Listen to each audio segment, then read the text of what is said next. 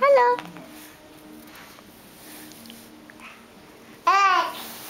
Hi, chị Kaylee.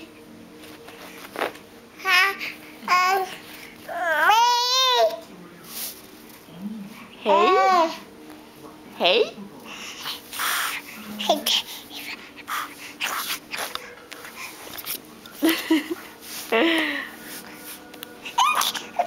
yeah. oi.